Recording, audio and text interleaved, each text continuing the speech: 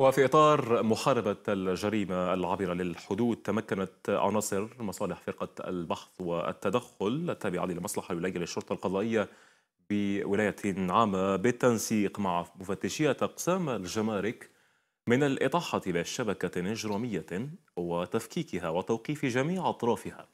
العملية تمكنت من توقيف شخصين تتراوح أعمارهما ما بين 37 و 40 سنة وحجز كمية معتبرة من المخدرات. تفاصيل هذه العملية في ميكروفون مراسلنا مصطفى ضحاوي.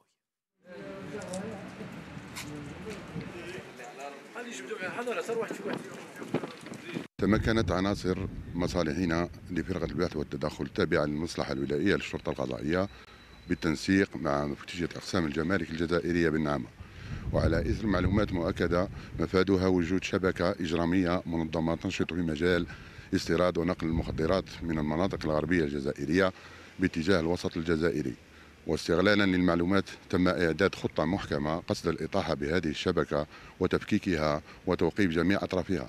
العملية مكنت مصالحين من توقيف شخصين تتراوح أعمارهم ما بين 37 سنة و40 سنة. وحجز كمية معتبرة من المخدرات كيف نعالج المقدر وزنها الإجمالي 257 كيلوغرام. مبالغ مالية مقدرة من عائدات هذه من عائدات هذه السموم ومركبة مستعملة في عملية في هذه العملية تم إنجاز ملف قضائي ضد المشتبه فيهما وتقديمها أمام نيابة الاختصاص لدى محكمة النعمة